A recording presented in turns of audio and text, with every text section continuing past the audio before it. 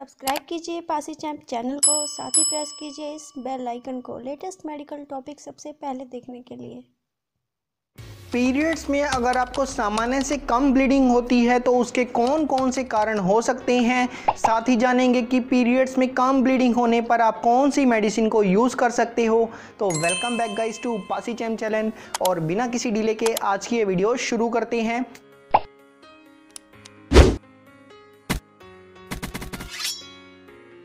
तो गाइज़ देखिए, अगर आपको पीरियड्स में कम ब्लीडिंग हो रही है, आपके पीरियड्स खुलकर नहीं आ रहे हैं तो उसके बहुत सारे रीज़न हो सकते हैं।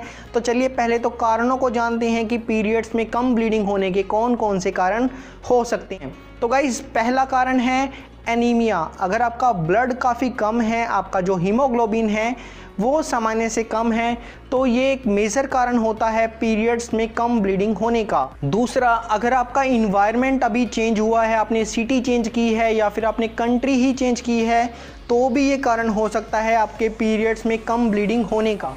तीसरा, अगर आपको मैनाकी है मतलब कि अगर आपके पीरियड्स अभी अभी शुरू हुए हैं आने मतलब जिन गर्ल्स की एज 12 से 14 साल के अराउंड होती है तो उनके पीरियड्स खुलकर नहीं आते हैं।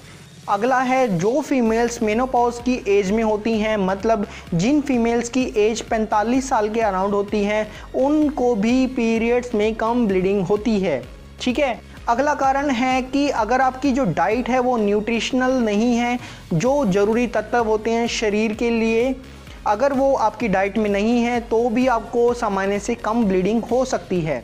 अगला है, अगर आपके पेल्विक रीजन में किसी प्रकार की सिस्ट है मतलब कि अगर आपको ओवरियन सिस्ट है पीसीओडी की प्रॉब्लम है, या फिर पीसीओएस की प्रॉब्लम है, या फिर आपके बच्चेदानी में फाइब्रॉइड्स हैं रसोलियाँ हैं तो भी आपको पीरियड्स नहीं आते हैं। साथ ही अगर आपको हार्मोनल इम्बैलेंस है, अगर आपका थायराइड ग्लैंड प्रॉपरली फ़ंक्शन नहीं कर रहा तो भी आपको पीरियड्स में सामान्य से कम ब्लीडिंग देखने को मिल सकती है। अगला है, अगर आप हद से ज़्यादा एक्सरसाइज करते हो तो उससे आपका जो इस्ट्रोजन लेवल है, वो कम हो जाता है, जिसके चलते आपको सामान्य से कम ब्लीडिंग देखने को मिल सकती है। अगला है कि अगर आपने कोई सर्जरी करवाई है या फिर आप लंबे समय से किसी मेडिसिन पर हो या फिर आप लंबे समय से बीमार चल रहे हो तो भी आपको सामान्य से कम ब्लीडिंग हो सकती है अगला है कि अगर आपको अबोर्शन हुआ है, अगर आपका गर्भपात हुआ है तो भी आपको सामान्य से कम ब्लीडिंग देखने को मिल सकती है ओके okay. अगला है कि अगर आपने कोई कॉन्ट्रासेप्टिव पिल ली है या फिर इमरजेंसी पिल ली है तो उसके चलते भी गाइस कम ब्लीडिंग देखने को मिल सकती है अगला है कि कई बारी जो स्ट्रेस होता है एनजाइटी टेंशन होती है, ये भी फ्लैक्चुएट करती है आपके पीरियड साइकिल को और जो पीरियड में होने वाली ब्लीडिंग है, वो भी कम हो जाती है। ठीक है? तो गाइज़ ये कुछ कारण थे जिसके चलते आपको सामान्य से कम ब्लीडिंग देखने को मिल सकती है। अब चलते हैं आगे मेडिसिन की तरफ़ कि किन मेडिसिन को यूज़ कर कर आप अपने पीरियड्स में कम ब्लीडिंग की परेशानी को दूर कर सकते हो। तो गाइज़ देखिए, कोई ऐसी स्पेसिफिक मेडिसिन नहीं है जिससे आप ब्लीडिंग को ज़्यादा कर सको।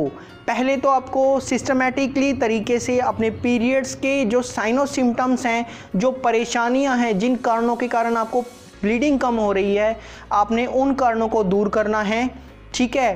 जो मेन चीज़ है, कई बारी फीमेल्स को एचबी के कारण मतलब कि एनीमिया की कंडीशन के कारण जो पीरियड्स हैं, उनमें कम ब्लीडिंग देखने को मिलती है। तो उस समय आप कोई भी आयरन सप्लीमेंट ले सकते हो। यहाँ पर मैं आपको कुछ सिरप के नाम बता देता हूँ। जैसे अगर आप नॉन वेजिटेरियन हो तो आप डेक्स्टोरेंस को यूज़ कर सकते हो।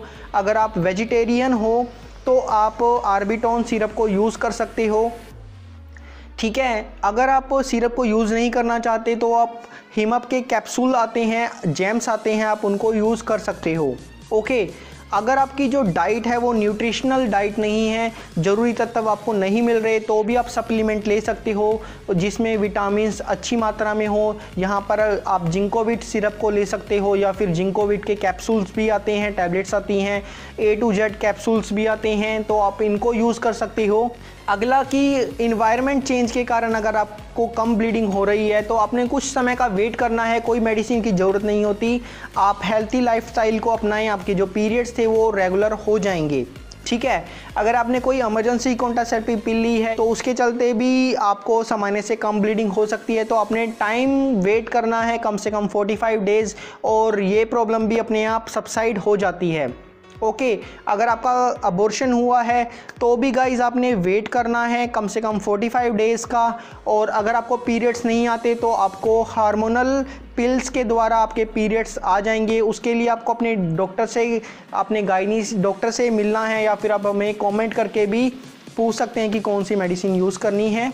और अगला है कि देखिए, अगर आपको जो पीरियड्स हैं, वो आपके पेल्विक रीजन में कोई सिस्ट है ट्यूमर है या फिर फाइब्रॉइड्स हैं तो उसके चलते तो आपको एक बार तो अपने अल्ट्रासाउंड करवाना पड़ेगा, लेकिन इसके कुछ साइनो सिम्टम्स हैं, जैसे आपका जो मेंस्ट्रुअल साइकिल था, वो टाइम पर नहीं आ रहा ब्लीडिंग कम हो रही है बैक पेन हो रहा है नोजिया वोमिटिंग हो रहा है लोअर एब्डोमन पेन हो रहा है तो इसके कुछ साइनो सिम्टम्स हैं तो एक बार आप अल्ट्रासाउंड करवा लें प्रॉपरली डायग्नोज हो जाएँ।